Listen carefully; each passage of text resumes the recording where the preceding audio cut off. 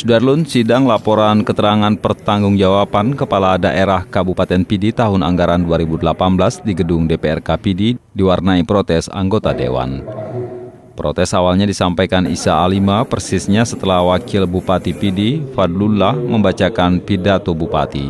Isa mempertanyakan adanya stempel basah Gubernur Aceh di LKPJ yang dibacakan Fadlullah. Ini gubernur. Harusnya yang baca bupati.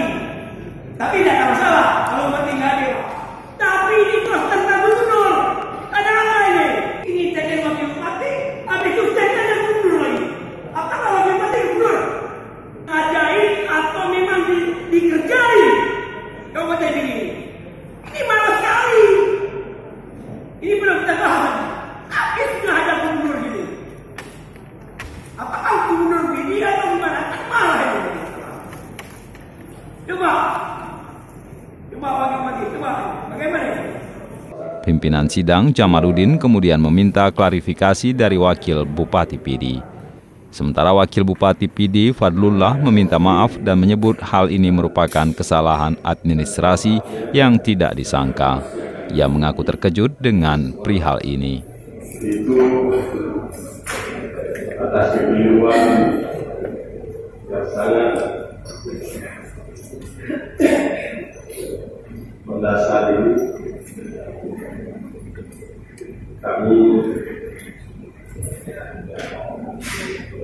mohon pada sidang anggota dewan yang terhormat bahwa tidak ada sebuah tujuan atau pretensi apa pun dalam hal ini maka kami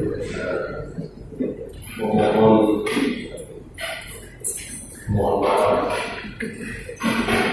kepada seluruh sidang dewan yang terhormat dan kami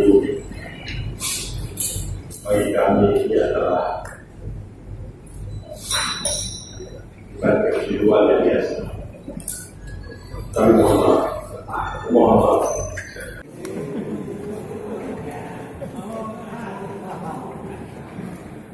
Jadi yang teken tuh wakil bupati, hmm. tapi stempelnya stempel gubernur gitu loh. Hmm. Nah ini kan paling konyol nih, jadi kesalahan di mana ya kan? Hmm. Nah mungkin yang parah dua orang, yang teken. Saya yakin itu duluan di teken, duluan di teken, duluan di parah diperbanyak. Habis itu yang stempel. Nah, yang tempelnya kok bisa kecolongan itu stempelnya stempel gubernur, seharusnya kan stempel bupati.